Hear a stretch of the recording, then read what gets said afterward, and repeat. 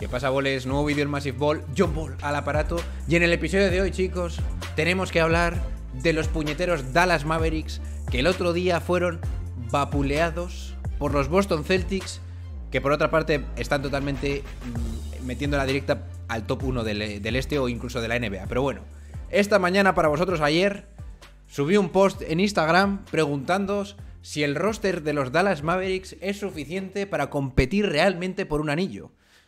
Ya no me pregunto si es suficiente para llegar a las cotas del año pasado, que fue finales de conferencia. Sin poder competir. Todo se ha dicho en esas finales. Y vapuleados por los Golden State Warriors. Pero bueno, eso es lo de menos. Eso. Que yo ya me planteo si esto de verdad puede ser mmm, mantenible en el tiempo y exitoso. Así como fue en su momento los Houston Rockets, que todo el mundo sabe, no llegaron a mucho más que las finales de conferencia. Sí que tuvieron dos partiditos y tal, pero en los que pudieron haber hecho la diferencia y llegar a las finales, pero no ocurrió. Bien, entonces, actualmente los Dallas Mavericks van décimos. Tú dirás, oh, yo Paul van No, no, tranquilos que están todos los equipos metidos en el mismo saco, entre 10, 12 victorias, y si ganas un partido ya te quedas casi quinto. Entonces, por eso no hay que preocuparse. Hay que preocuparse de la filosofía de juego que tienen los Dallas Mavericks. Así que, si no revienta el ordenador hoy, me pinchas la mil. Nice. Así que aquí tenemos el post. Y yo pensaba, mmm, la gente eh, iba a decir su opinión, pero yo no me imaginaba, vamos a volver a recargar así en un momento, yo no, me imaginaba que se iba a liar la que se ha liado. 32 comentarios en menos de 6 horas. Entonces, he dicho, say no more. say no more, vamos a hacer el vídeo cuanto antes. Entonces, el post es el siguiente. ¿Pueden ganar los, ganas, los Dallas Mavericks este año con este equipo? Luka Doncic está en máximos históricos de usage. Parece difícil que pueda mantenerse en playoff. ¿eh? Os doy tres opciones, que es básicamente lo que se me está pasando por la cabeza a mí, que deberíais pensar. no, no. De lo que se me ocurre que puede pensar la mayoría de la gente del podcast realmente. Y he puesto estas tres opciones. Primera, sí, puede ser una versión mejorada de los Rockets de Harden, que personalmente es lo que opino yo. No, se necesitan al menos dos estrellas para ganarlo todo. Y tres, que realmente lo pienso yo también, y le, doy un giro dramático de los acontecimientos aquí mismo y digo, no, y esto es culpa de Luca por ser demasiado bueno demasiado pronto y no poder conseguir las rondas del draft los primeros años. Joke, no joke. Vale, entonces voy a intentar explicar este último, esta última opción para, lo que, para que me entendáis. A ver, Luka Doncic es un jugador que evidentemente es el mejor jugador de su generación, bueno, a ver, no consideramos a Janis en su generación. Aunque habrá gente que, bueno, la generación de Luka Doncic, Moral, tal. Esta gente la conocemos, Sion tal. Es el mejor. Es el mejor. Por encima de Tatum ahora mismo, yo creo que no hay duda. Ahora, este tío lleva desde la burbuja llevando a ese equipo a competir en todas las eliminatorias de playoff. Y es cierto que se decía en su momento que el tío, pues, eh, solo ponía números y ya está, y no pasaba de primera ronda, pero el caso es que ya el año pasado son finales de conferencia. Entonces, claro, haces esto demasiado rápido, aceleras el proceso de conseguir una plantilla mmm, amoldada a tu juego, que no te digo que no esté funcionando ahora, sino que eh, una plantilla normal suele tener dos o tres años de desarrollo donde consigues muy buenos picks y uno de esos picks cruzas los dedos y se convierte en una estrella que acompaña a tu estrella principal. Hasta ahí está claro, ¿no? Entonces Luka Doncic no ha podido hacer esto, no ha podido elegir los Dallas Mavericks en un pick alto, porque Luka Doncic ya estaba poniendo a los Dallas Mavericks en playoff casi desde el segundo año. Entonces, explicado esto, pinchame otra vez la mil, cameraman. Vamos a ver lo que dice la fanaticada. Y luego os doy exactamente mis thoughts. A ver lo que dice mi hombre Osquitar. A dos victorias del primero del oeste. O sea, duras declaraciones, ¿eh? A ver lo que dice el asesino de Darwin. Un equipo que dependa del 70% de un jugador, esta NBA no puede ganarla. Maneja 40% el balón en su promedio de puntos y asistencia estamos hablando de más de 50 puntos. Es un equipo de segunda ronda. Pues aquí te voy a... O sea, de golpe te voy a decir, estás loco. Tal cual. Y me la sopla. Y vamos a ver el siguiente post. Oscar Fontecha, me imagino que esto estará en una conversación interna, jodido Instagram. Me encantaría hablar de esto largo y tendido porque es bastante más complicado. Uf, Pascu. Te vuelves loco, ¿eh, Pascu? Bien, Julián Guede, no. Mientras no pongan complementos buenos a Luca, Ni los Maps van a ganar, ni Luca pueden llevarse ningún MVP. ¿Pero cómo que no se puede llevar? Pues ahora mismo, efectivamente, ahora mismo es el número uno en los rankings de MVP. A lo cual le contesta Julián Guede que está loco. Sí, y seguirá toda la temporada ahí. Pero como, sabe, como bien sabes, necesita un récord mejor para llevárselo. No so fast. Y para ello ni hablemos. Y para, y para el anillo ni hablemos. Pues eh, te voy a decir una cosa, mi hombre. Eh, Julián. El año pasado Jokic, siendo sexto, gana el, MVP. Y este año probablemente se lo den a Yanis, pero como hay algún impedimento, se lo dan a Luca. Y tú lo sabes. Y lo quieres poner ahí por hacerte guay. Bien, pínchame otra vez la mil. A ver lo que dice la fanaticada. Estamos en la mil, ¿no? Sí. A ver. Más.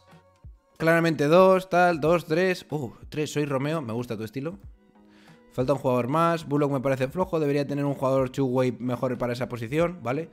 Hostia, este nombre. Still end up dead.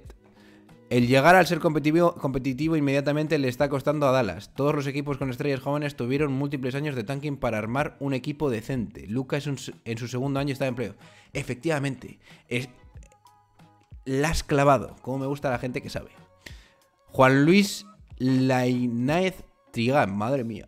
4. Luca necesita. Este tío está loco. Luca necesita. No necesita estrellas, sino complementos a su lado. Un buen defensor exterior con tiro. Eric Gordon, me gusta tu estilo. Y sobre todo un buen defensor de intimidad interior.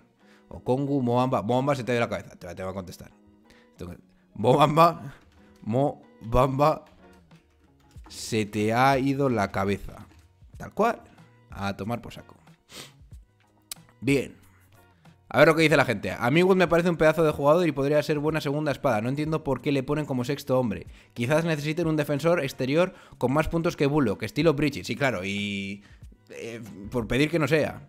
A ver, si estás en el barco de mi hombre Kevin O'Connor que lleva diciendo esto mmm, media vida, pues entonces lo puedo entender. Perdonad por haber, no haber cambiado la, la, la pantalla. Lo puedo entender. Así que si quieres, vete a hablar con Kevin O'Connor que piensa efectivamente lo mismo que tú. A ver, no estoy de acuerdo con ninguna de las opciones. Hay la liga, hoy la liga cambio y no se necesitan varias estrellas. Esta liga es de equipos y si Luca aceptara 40% de las posesiones y no se juega el equipo, por otro lado se extraña mucho, se, extraña mucho Branson. Uf, eso lo de Branson no lo tengo tan claro. Vamos a lo que dice después la fanaticada. Toda la razón, Luca lo quiere hacer todo y así no ganará nada, porque hay jugadores mucho más competitivos que él. Uf. Marcos, no tiene ningún otro jugador capaz de generar para el resto y aún, asiste en un porcentaje muy alto de posesiones. Eso es cierto. Ninguno capaz de generar, Dingwiddie, Hardaway Wood, por favor, no menciones el clutch. Nunca lleva un porcentaje horroroso en el clutch este año, estadísticas. Ay, ay, ay, se están encendiendo. Sigue, Marcos, a ver qué le dices. Si es, si es que, madre mía, las cosas que hay que leer a veces. Se vuelve loco. Espérate, toma este aquí. Para meter más fuego. Y es capaz de culpar a Kobe Bryant de los Lakers no se metieran en el playoff en el 2005. En fin, sigue a tu rollo. También te doy un like. Madre mía. No vamos a seguir leyendo. Pero este tío, Dallas, igual a play-in, hay que darle un like también porque mete mucho fuego. Bien, os voy a dar mi opinión. Ahora, pínchame la 2. Yo personalmente creo que los Dallas Mavericks sí pueden ganarlo todo con la estructura de Luka Doncic como estrella máxima. Sí. En vez de Dingwiddie, tienes a otro generador de juego un poquito más consistente. Porque el otro día contra Boston, make no mistake.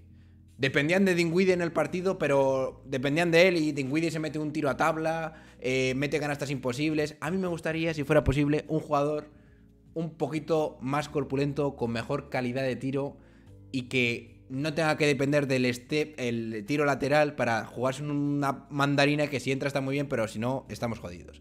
Yo creo que puede funcionar y el verdadero problema de que las cosas no estén funcionando tan bien como creíamos, y lo, y lo diré toda mi vida, es, por lo menos hasta que cambie, es, pinchame la mil otra vez, que Luka Doncic para mí sigue estando fuera de forma. En otras palabras, sigue estando gordo, tal cual. Sigue estando gordo. Eh, tú me dirás, John eh, el tío ha tenido que poner un poco de cuerpo. Vale, yo no sé cómo jugaba en el Real Madrid, tan a fondo como sé cómo juega ahora, pero mírate el bíceps. Mírate cómo estaba el tío. Mira cómo está sacando aquí bolita. A mí me gustaría que estuviera un poquito más así, fíjate. Fíjate en ese bíceps. Esto, esto, por favor, gente que esté metida en el tema de condicionamiento físico en la NBA, ¿me lo puede explicar? O sea, ¿de verdad Luka Doncic tiene que estar como está ahora? ¿O es que se le ha ido de las manos? Un poco. ¿O no se cuida tanto como debería? Porque yo creo que, coño, ¿se puede mejorar el estado físico que lleva o qué? Y por ende, el tío metería los puñeteros tiros en los últimos cuartos, que baja bastante su porcentaje, y entonces esos partidos que se quedan en 50-50 y lo que mencionaba nuestro amigo Marcos en el clutch, probablemente esos partidos los ganarías. Así lo pienso yo. En fin, por último, quiero ver un poquito en qué situación están los Dallas Mavericks con vosotros. ¿Me pinchas otra vez la mil? Tal cual. Eh, ahora mismo, vamos a leernos esto. Los Dallas Mavericks este año son el número 24 en puntos por partido, que me ha sorprendido mucho. El último, el último equipo en mm, pace, que es velocidad de juego, en cuántas posiciones tiene. Solo tiene 95, es la peor de la liga, que me he quedado acojonado. Sin embargo, en offensive rating están décimos y en defensive rating están octavos. El defensive rating ya sabemos que lo pone Jason Kidd, que es algo que el tío, al tío se le da bastante bien. Pero ¿cómo es posible que los Dallas Mavericks jugando a tirar triples y todas estas cosas y que te debería gustar jugar al contraataque, estén últimos en pace, en ritmo de juego. A mí eso me ha volado la cabeza. Y alguien me tiene que dar explicaciones.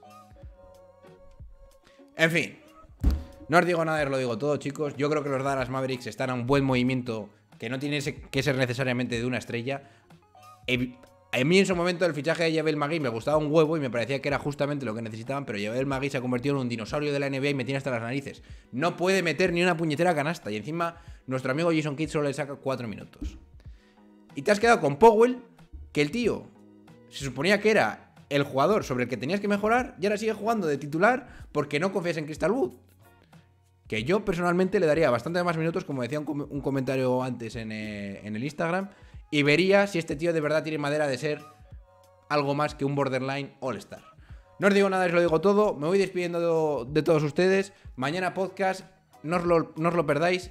Pasad una buena mañana.